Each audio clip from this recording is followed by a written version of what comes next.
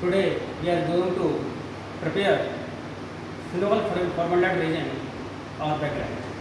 Bakelite is a thermoplastic thermostatic polymer.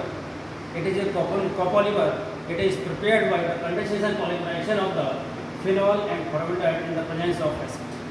So first of all discuss the requirement of this experiment. Phenol 40% formaldehyde solution, concentrated hydrochloric acid Glycine, acetic acid, glass rod, funnel, beaker and filter bottles. And few amount of distilled water for washing purpose. So, we are already tell you it is a conditional polymerization in which phenol and formaldehyde reagent combined together to form a baccarat polymer. So, we are going to perform bakelite formation. First of all, we take a 250 ml of dry beaker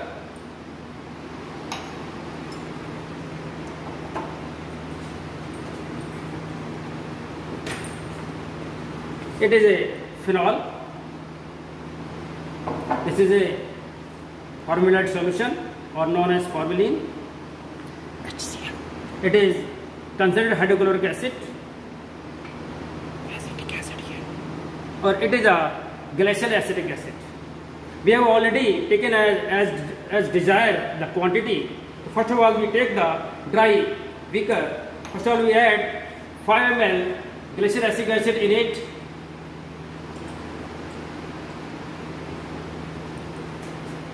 And 2.5 gram of formalin or formaldehyde solution in it. Stir well.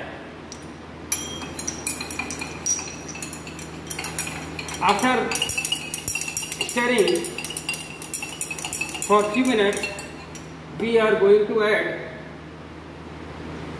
2.5 gram of phenol. This is ethanol.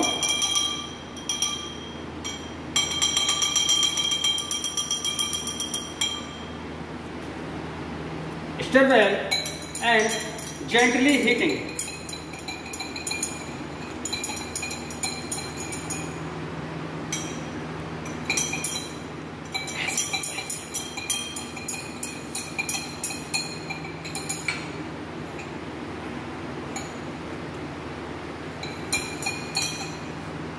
temperature set at 70 degree centigrade or it is a heating with gently stirring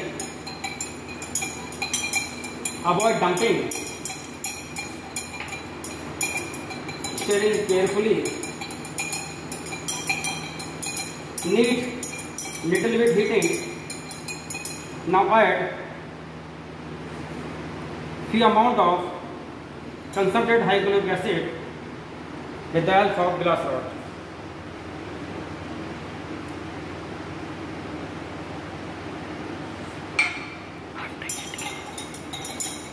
After stirring of some time, it is obtained a pink mass. It is a thermoplastic polymer. It is a pink th thermosetting polymer. It is a pink mass. This is the Backlight. it is going to wash dry it and wait till constant weight and note the yield thank you